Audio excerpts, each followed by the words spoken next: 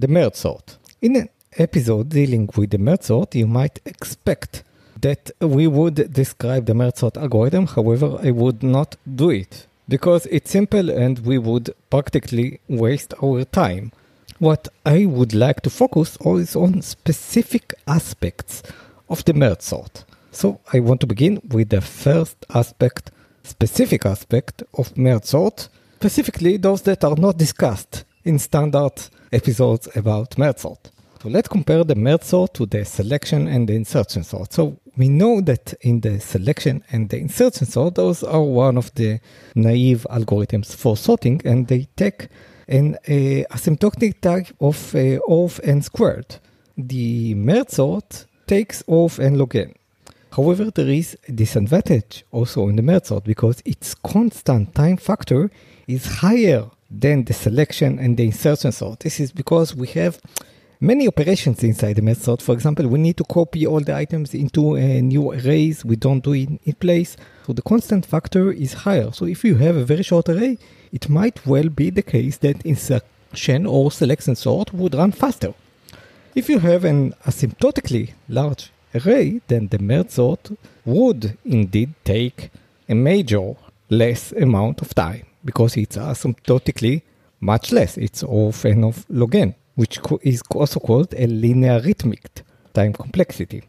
The merge sort also the differences in between it and the selection and the insertion sorts and all the like is that it does not work in place, which means when we uh, split the array into two and then we tell each of the parts of the array, hey, you take this first part of the array and sort it recursively, and you guy take the other part of the array and sort it recursively, then we don't do this in place. We actually do a copy of the two arrays and we let them sort it. We'll discuss why we don't do this in place in another item. You can take it as an exercise to try and sort it in place and you see you will face many difficult problems which would hinge you from doing this in an asymptotic time of O of n log n.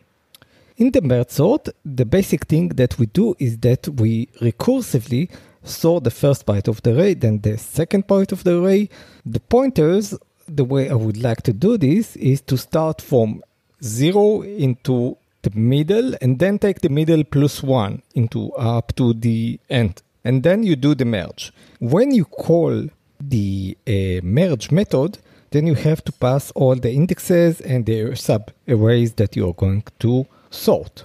So basically, if you look at the merge sort, then what you'll see intuitively is that it's doing divide and then another divide and then another divide and almost no work is happening during the divide process. It's only dividing and preparing the arrays. So you do a divide into two and then you do a divide each part into two and then you divide each part into two until you reach specific arrays of one item. The main point I want to emphasize here is that you can see the merge sort as a two step process when looking at it like 40,000 miles ahead. The two processes are the divide and then the merge.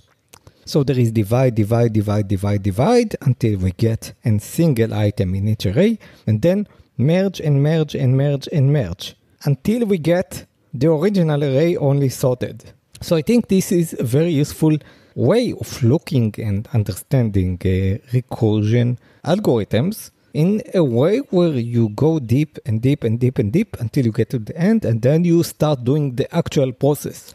Because during the divide time, we don't do really any processing into the arrays. It's only in the merge time that we actually do the merge, the sorting. This is where all the work goes into.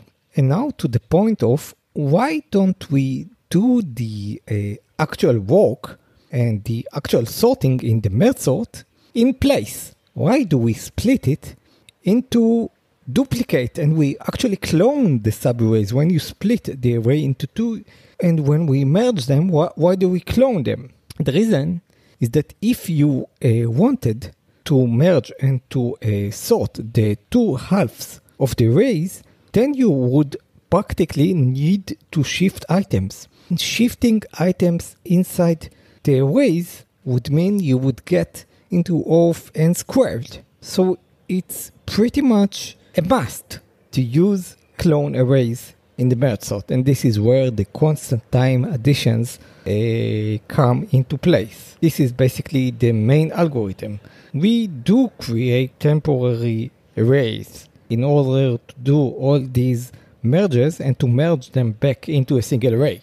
And now I want to stress out another point because when we do the merge of two arrays, let's say I tell you, because this is the assumption in a merge sort that we have two separate sorted arrays. So let's say I tell you I have two separate sorted arrays and I want to combine them into a single array.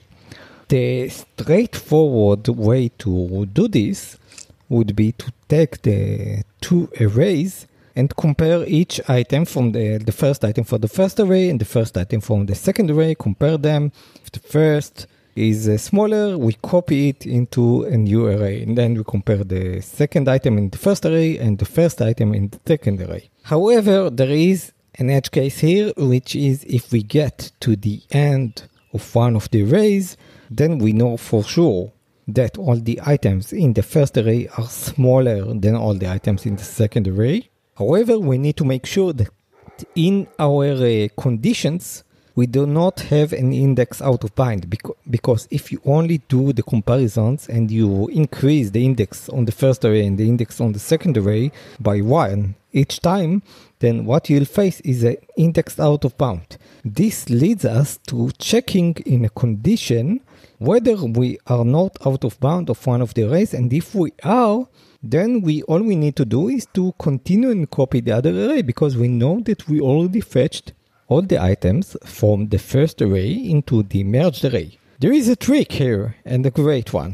What we can do is when we, in order to avoid all these uh, conditions, because adding all these conditions about uh, did I is this item smaller than the item on the second array and whether I have reached the end of any array can we get rid of any of the conditions? More specifically, can we get rid of the condition of whether we reached the end of the array? And the answer is yes, we can get rid of it.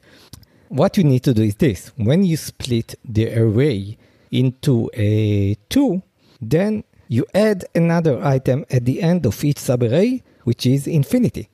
And then you are sure that infinity is going to be greater than any item on the other array, which makes it strictly that when you compare two items, then when you reach the end of the first array, you will start getting the items from the second array until the end.